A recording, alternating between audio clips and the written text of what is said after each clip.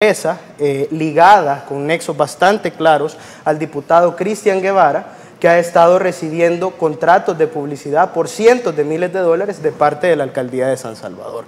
Te lo adelanto acá en este momento. ¿Estás consciente eh, de lo que estás haciendo? Absolutamente. Absolutamente, y si lo hago es porque tengo los documentos para respaldarlo.